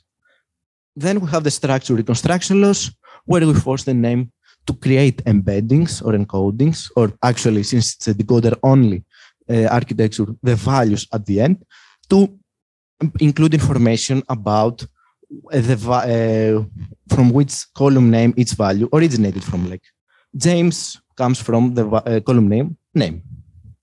And finally, content ordering clause, where we train the model to auxiliary, an auxiliary task that trains the model to uh, generate text in the correct order. And they don't do it using the Levenshtein distance. Instead, they pick the optimal transport distance, and they do that because optimal transport is differentiable, allowing for the usage of backpropagation and uh, and don't having the requirement to use reinforcement learning. And the model performs really great, especially on a few shot setting. Like if we have a small number of 50 to 500 training prompts, which is fairly small, especially 50, then the model will perform really good. And finally, we have plan then generate, where starting from the bottom left, we have a table. We uh, serialize it into year 2016, name and stuff like that. We pass it through a code encoder. In this case, this is BERT.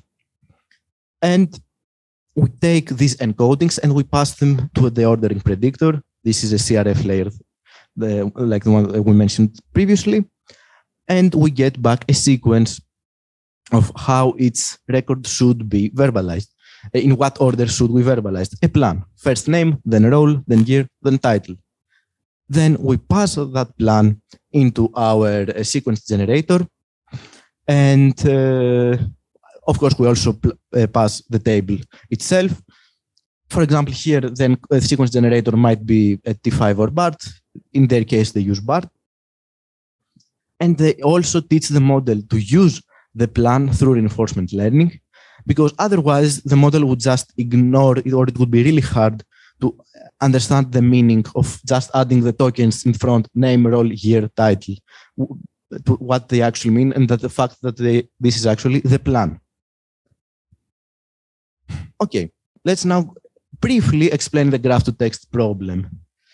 And uh, by graph to text, for example, here we mean given a graph, in this case, a schema of a database, pass that through a model and get a back a description of the contents of the database or uh, or anything else that can be defined as a graph. And there have been again a lot of datasets and a lot of work has been done lately, a lot of recent ones. Uh, the domain here is broader because there were the graphs that exist that existed and that were used were from broad domains. And we'll just see some influential uh, datasets next that we have highlighted. The WebNLG dataset it comprises of triplets found in DBpedia along with uh, verbalization written by humans. For example, Elliot See, alma mater, University of Texas at Austin, and this uh, is uh, passed into a model, and we get back this really nice verbalization on the right. It is fairly big with 17,000 triplets verbalized. Um, and it consists of many domains from actually entities or family or word families in this uh, in DBpedia like airport, uh, astronauts, movies, uh, companies, stuff like that. And it is still getting updated as far as we're concerned around uh, every three years. The next one is LDC, uh, where which is a dataset that facilitates the abstract meaning representation task. What does that mean? It's a, a, this task tries to capture who did what to whom in a sentence. Uh, for example, we have here a graph. If he flies, he could go to the moon, and this is the graph that represents it it's not that easy to actually create that graph, and it was created by human experts uh, that were given a sentence and managed to generate uh, that specific graph. The data sources that they get these sentences was from forum discussions, journals, blogs, and news texts. And again, it's still getting updated every three years. The next one, map2seq, is a really nice one where given a route, as uh, let's say that on your map application you go from, want to go from point A to point B, then uh, you represent the whole route as a graph, and not only the nodes uh, are in, on the road, but also you have nodes that are person, uh, not persons, uh, interesting points along the route. So, for example, instead of having the application saying move 200 meters east, then you can have an application that says move until you find that light traffic and on your right there is that uh, donut shop and on walk straight until you find the park on your left that park on your left. And it is a fairly big data set of uh, 7000 navigation instructions concerning uh, its complexity and all of the instructions were normally validated for their correctness by humans again. Okay so this uh, we have again some challenges but the one challenge that we will focus is the graph understanding one because most of the rest of the challenges their solutions are kind of similar to the table to text uh, case and they just require some slight modifications. So what do we mean by graph understanding? Well there are some things that we must get from a graph like somehow we must the model must know how can we encode an edge between node 1 and n3 the fact that these two nodes are connected. Or how can we encode the fact that we can go to n4 to node 4 and we can do it from n1 and we can do it using node 2 or how could we encode the directionality of uh, node 3 and node 4 while there is no bidirectionality for example between node 1 and node 2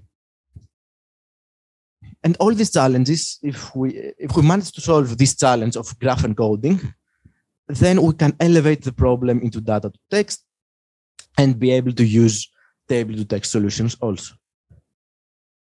And one way to do that is by encode uh, by enhancing the self attention, actually the encoder of the transformer architecture. Here we have the equation of the transformer architecture.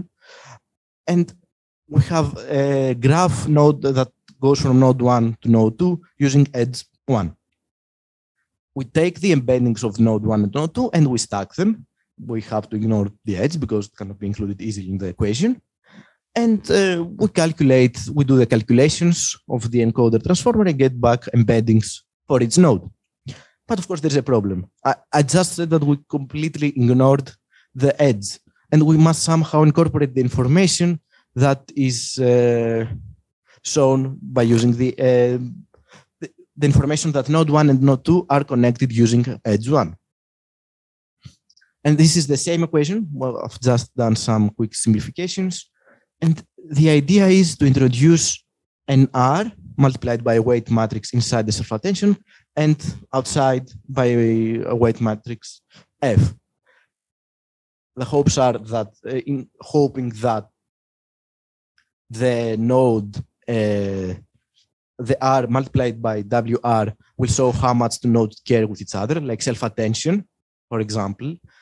And the R outside will say how these two nodes care for each other. Okay, they somehow these two nodes are connected. How are they connected? This is on by the outside part of the equation.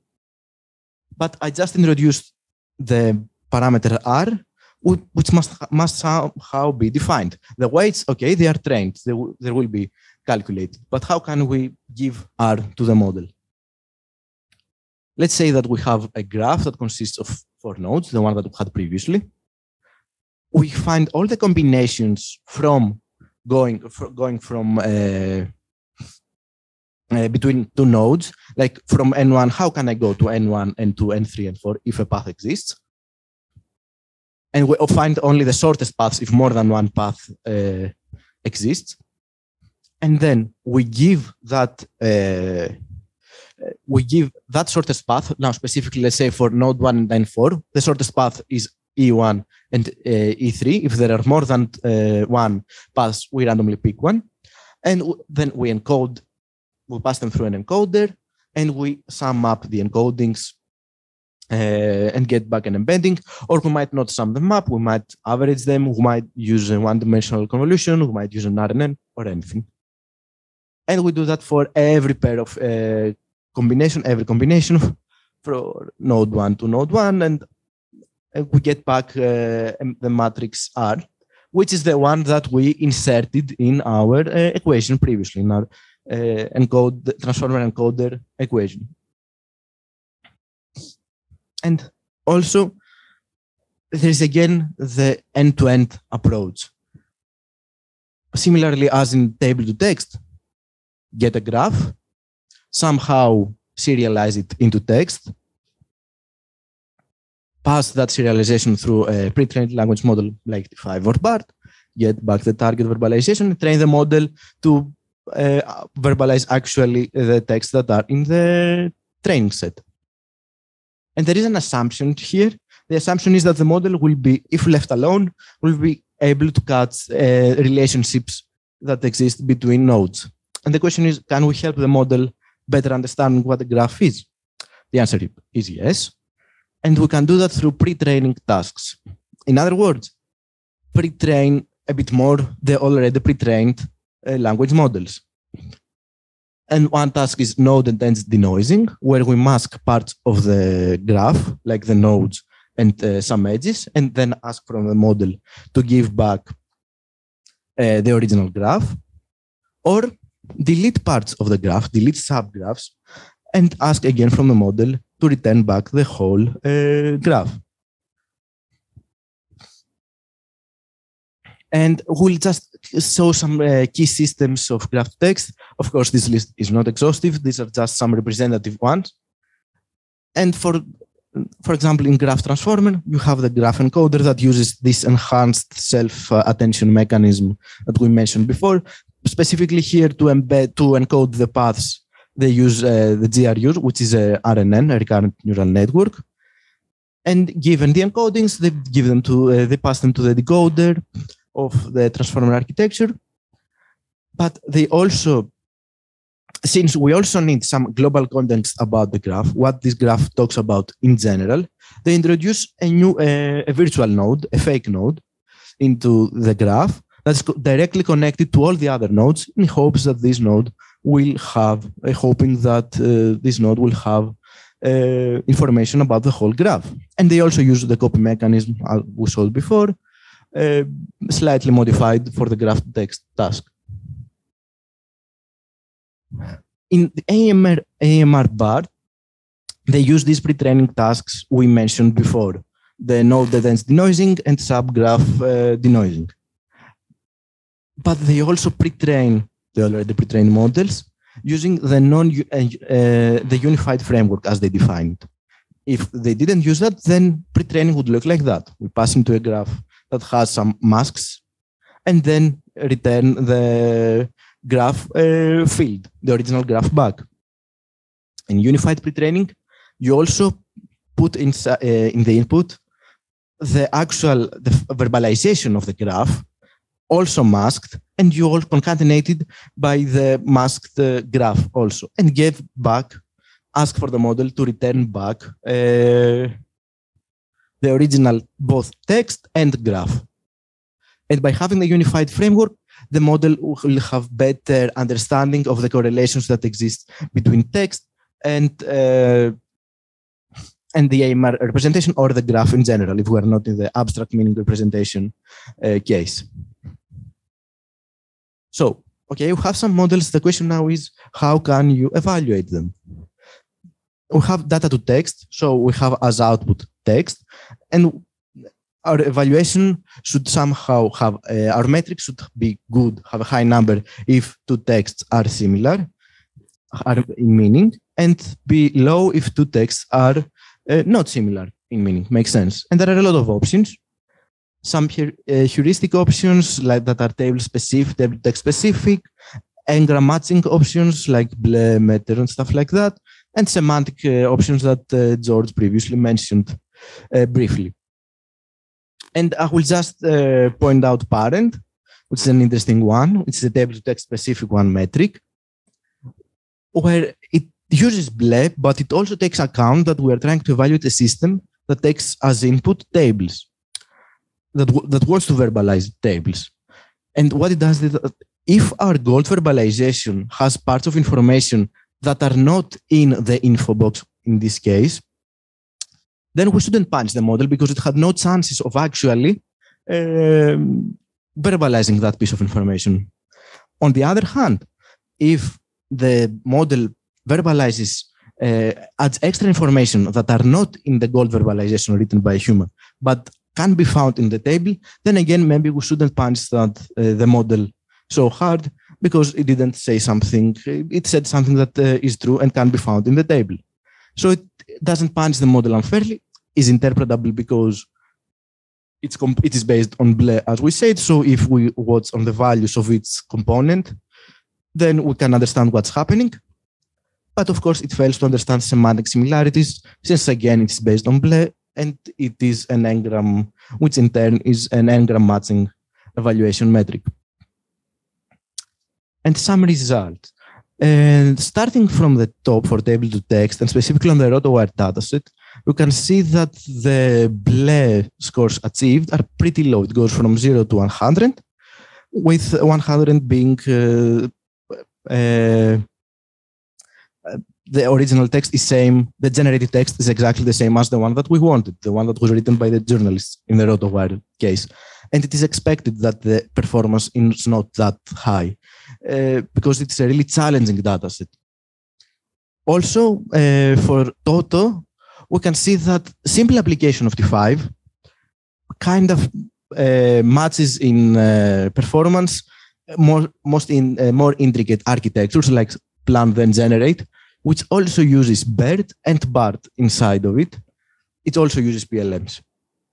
But for graph to text, first of all, we can see that using T5 greatly increases performance for not having a pre-trained language model, like in Graph Transformer. But uh, the really interesting thing is that pre-training in like in AMRBART really increased performance by five BLEU points, which is a significant amount of per, uh, performance improvement using only pre-training tasks.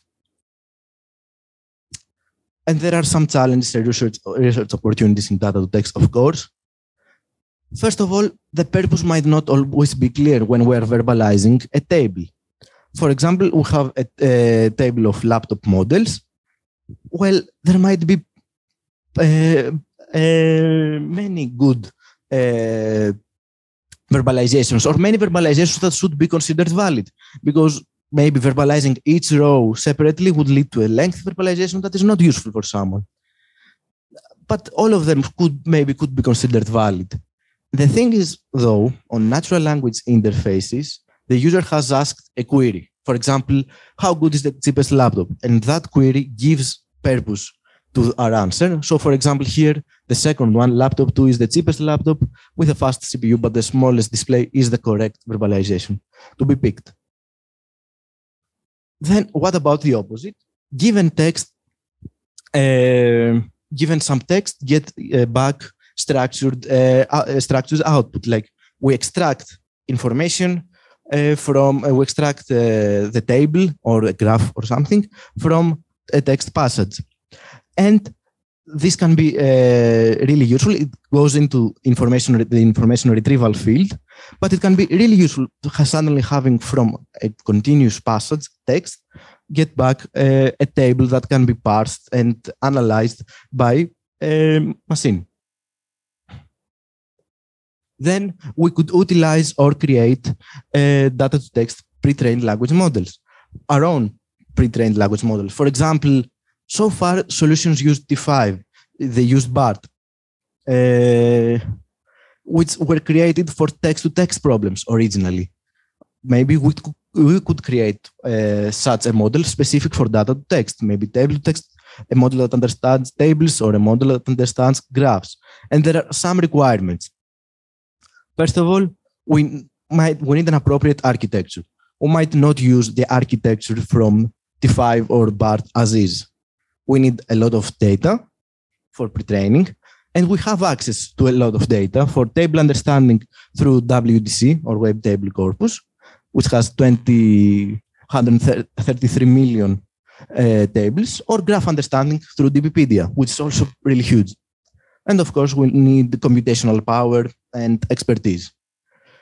And we must mention that such attempts have been made in the past with uh, TaBERT, although uh, TaBERT cannot, uh, although these attempts have not been uh, transferred to the data to text problem, such as table to text. Also, we are talking about database democratization. Uh, but there are no data to text datasets for the database domain. And one could say, then why can't we just use table to text datasets? Because the results of a query might look like a table, and just hope that it works well for these datasets too, for the database uh, case too. But there are some problems that appear. First of all, a database, when you're uh, when you are uh, verbalizing results of the query, there is a database behind which has a schema that may include information that could be uh, useful or not even useful. Sometimes it might be required to have access to that uh, schema information. Also, a database will not follow conventions of a Wikipedia table. For example, here we have name and name as the column names. Why? Because it was a join query on the movies and directors tables, and they both use the word name as their attribute to describe uh, both the name of the movie and the name of the director. Lastly, a query expects something specific uh, as an answer. We do not just ask the model, describe me a table, but answer me to that specific question. And now, on the, for the final part, we will talk about how we can bring all of this together. All of this together. And by all of this, I mean the text to SQL component and the SQL text to text components that were described previously by George and the data to text component too. And okay, the simple solution would be get uh, models that perform well uh, for its task, a, good model for uh, text to SQL, another good model for SQL to text, and for data to text also, train them. And the rest is just uh, technical uh, challenges of how should we serve these models, maybe how to set up the APIs and stuff like that. But many challenges arise through that simple solution. First of all, what we have to find a solution that is can generalize to many databases. The system must somehow be able to work, the system defined must somehow be able to work on many databases, not on a specific database or specific set of database under some domain. Also, database names and columns might not be, let's say, friendly for language models or for a lot of models because a lot of abbreviations are used, like user, which is abbreviated a lot of times as USR. Also, production database tend to be bigger than the uh, databases in the data, this, uh, data sets that already exist. For example, Spider, one of the best, uh, if not the best SQL to text and text to SQL dataset, has databases that have on average four tables, which is relatively small. And there are some possible right directions. Okay, there is one. Just uh, create new datasets or expand current ones. But also maybe defining architectures and models that utilize the shot training uh, uh, that are really good in few set challenges.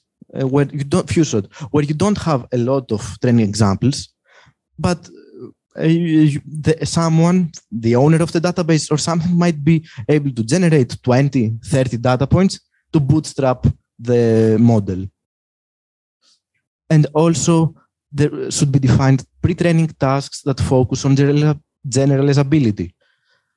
And finally, some query or database pre-processing. What we mean by that, maybe you can uh, modify a little bit the query that the user was asked by the user without changing its goal, its meaning, to make it more uh, easy for the model to actually generate uh, a nice verbalization of it, or to actually uh, the text to SQL module to understand better uh, the query. Another problem, error propagation. For the user journey to be uh, considered as successful, then all three of the components must work correctly. If, for example, SQL to text fails, then the user will be confused and the whole interaction will be considered as failed. And that makes evaluation much harder because there must be a common benchmark for all three uh, modules for text to SQL, for SQL to text, and for data to text. We must have a single benchmark to get back a representative performance uh, number. And also latency. The best solutions, they use models like T5 and uh, having three T5 variations or BART variations, depending on what works better. It's not easy. It's not easy to store all of these uh, models in memory. And of course, due, it will have a really increased latency. Having a, an interaction with a user needing at least 20 to 30 seconds will be a really big issue. And we're not even talking about query execution time. We're just talking about the overhead added from the natural language interface. And but since we're talking about natural language interfaces of database, also how this is shown to the user is really important. Like for example, there might be a conversational approach, like how many EU projects are there, and uh, the uh, system might ask to confirm the query with the user. The, the user says, "Yeah, that's what I asked," and we get back the verbal, the final uh, answer or maybe a search-based approach where you have a search engine-like environment where we put the query in, we press search and get back the answer, or anything else. And also we have to mention that so far we talked about text to SQL, SQL to text, and data to text, but there are other fields too that could really help such a natural language interface. Them being query recommendations, given a query of the user, for example, how many projects start in 2019, return back queries that the user might find interesting. Maybe similar queries or maybe queries that we think that he will find he or she will find interesting based on the history of the queries asked before. Also, data exploration is another important field.